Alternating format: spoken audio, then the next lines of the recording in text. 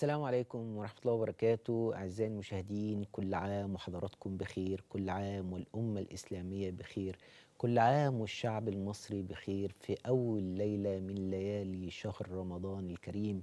شهر المغفرة شهر الرحمة شهر العتق من النيران شهر النفحات شهر الرحمات شهر النسمات من الله سبحانه وتعالى. شهر الله سبحانه وتعالى بيقدم لعباده المسلمين فيه خير كتير جدا. بيقدم لك زي ما بنقول كده أوكازيون بيقدم لك أوفر كبير جدا. انت اغتنمه وحاول في الشهر دوت تصوم كويس وتصوم كويس قوي قوي قوي وتقوم الليل كويس جدا وتقرأ القرآن وتتمسك بآداب النبي صلى الله عليه وسلم. أعزائي المشاهدين كتير جدا مننا صام كتير جدا ولكن إزاي تخلي رمضان السنة دي مختلف عن أي سنة تانية؟ عشان تخلي رمضان مختلف عن أي سنة تانية أنت صمتها عشان تخلي رمضان السنة دي مختلف عن كل سنة لازم تعرف النبي صلى الله عليه وسلم كان بيصوم إزاي. لازم تعرف حياة النبي صلى الله عليه وسلم في رمضان. هناخد يوم من حياة النبي صلى الله عليه وسلم في رمضان. إزاي كان النبي بيصوم؟ إزاي كان بيتسحر؟ إزاي كان بيقوم الليل؟ كان بيفطر على إيه؟ كل الحاجات دي كتير قوي من الناس بتتساءل عليها. عايزة تعرف النبي كان بيعمل ده إزاي؟ كان بيصوم إزاي؟ كان بيفطر إزاي؟ كان بيفطر على إيه؟ كان بيصلي إزاي؟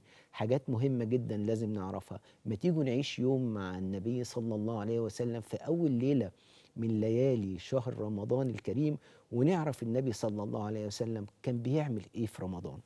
طيب قبل ما أقول لك هنبدأ إزاي والنبي كان صلى الله عليه وسلم كان بيعمل إيه في رمضان حاجة مهمة جدا لازم تعرفها. لازم تعرف شهر رمضان دوت نزل إمتى على النبي صلى الله عليه وسلم؟ والنبي صام كام رمضان؟ كتير جدا من الناس ما يعرفوش النبي صام كام رمضان. طيب عشان تعرف الموضوع دوت النبي صلى الله عليه وسلم نزل علينا فرض علينا شهر رمضان في السنة الثانية من الهجرة. وفضل يصوم النبي صلى الله عليه وسلم إلى أن مات في الحادي عشر من الهجرة. إذا النبي صلى الله عليه وسلم معلومة كتير جدا ما يعرفهاش صام تسع أعوام في رمضان. كل حياة النبي كل الدعوة ال 23 سنة صام النبي فيها تسع أعوام شهر رمضان. طب نروح ليوم من أيام النبي صلى الله عليه وسلم كان بيعمل إيه في يومه وهو صايم؟ أول حاجة كان قيام الليل للنبي صلى الله عليه وسلم. كان بيتسحر في أول ليلة من رمضان. طب يا رسول الله كنت بتتسحر إيه؟ كان معظم أكل النبي صلى الله عليه وسلم كان التمر. كان يتسحر النبي صلى الله عليه وسلم مع زوجاته رضي الله عنهم أمهات المؤمنين. اللي عليها الدور بيتسحر معاها يتسحر معاها ويتسحر في البيت. وكان النبي صلى الله عليه وسلم يتسحر مع أصحابه ورد إن النبي صلى الله عليه وسلم كان بيتسحر مع زيد بن حارثة خادم رسول الله صلى الله عليه وسلم. اذا النبي كان بيتسحر مع أصحابه وكان بيتسحر مع زوجاته.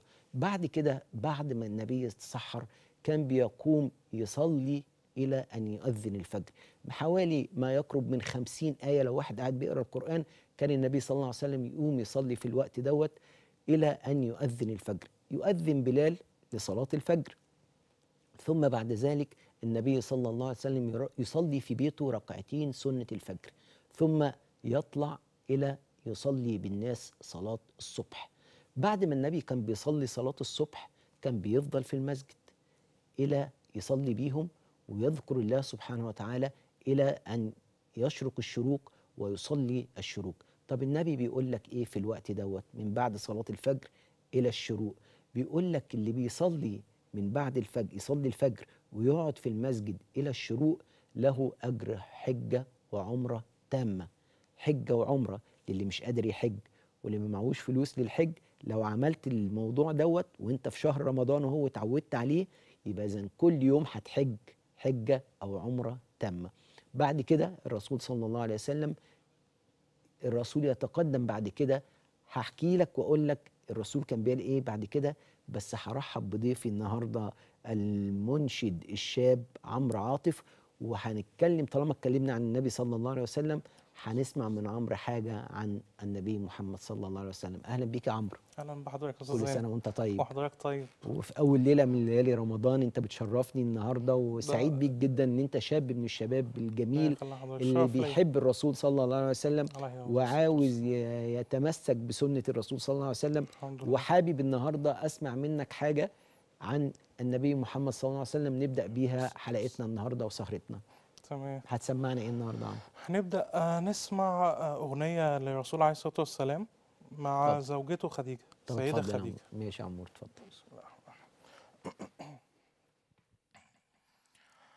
قال النبي الله صمد وخديجة أول من سجد يرزقني ربي بحبه ومنها جاء الولد.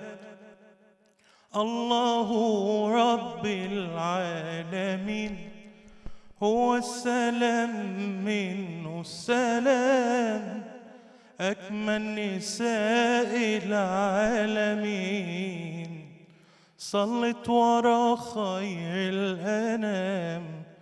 ولما جاله الوحي قال الله ربي ذو الجلال بتدفي روحي بالحنان.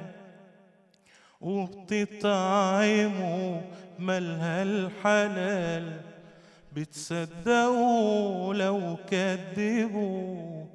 وبترحموا لو عذبوا.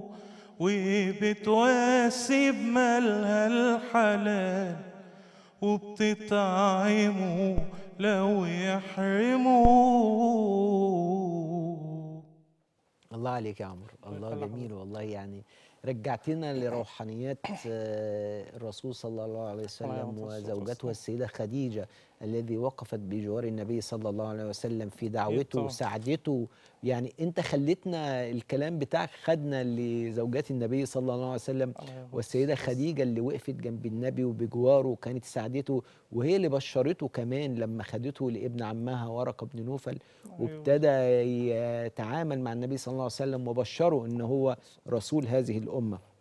الصلاة والسلام. آه عمرو عايز أكلمك بقى أنت كشاب من الشباب المسلم اللي بيحب دينه وبيحب آه، سنة نبيه وبيحب نبيه وبيحب ربنا سبحانه وتعالى. آه، حبيت الإنشاد إمتى يعني إيه اللي خلاك آه، تحب الطريق دوت وما خدتش طريق تاني يعني ابتديت تقول أنا عايز أبقى مع ربنا بحب الرسول صلى الله عليه وسلم وعايز آخد النهج ده وأمشي فيه احكي لي بقى بدأت معاك القصة إزاي هو أنا أصلا بدأت معايا القصة آه إن أنا كنت بغني من وأنا طفل صغير تقريبا 8 سنين تقريبا. تمام فبدأت بقى أغني آه كنت بغني في الأول أغاني عادية. أغاني عادية زي المغنيين الفنانين آه بس مع الوقت بدأت أسمع مثلا المنشدين آه المبتهلين زي الشيخ النقشبندي زي الشيخ محمد عمران. آه والمنشدين. آه فبدأت لما بدأت أسمع ال ال الأصوات دي بجد حسيت إن آه هو ده أصل الاصل ال- القوالة نفسها. تمام تمام. آه عمرو آه، هكمل معاك إن شاء تمام. الله. هنطلع لفاصل ونرجع تاني نكمل مع بعض. أعزائي تمام. المشاهدين فاصل قصير ونعود إليكم بعد قليل. خليكم معانا. سهرتنا فيها حاجات جدا هتنفعكم كتيرة جدا في أول ليلة من ليالي رمضان. اوعوا تروحوا في, حت- في أي حتة خليكم مع قناة الصحة والجمال وهاني الفرماوي فاصل ونعود إليكم بعد قليل.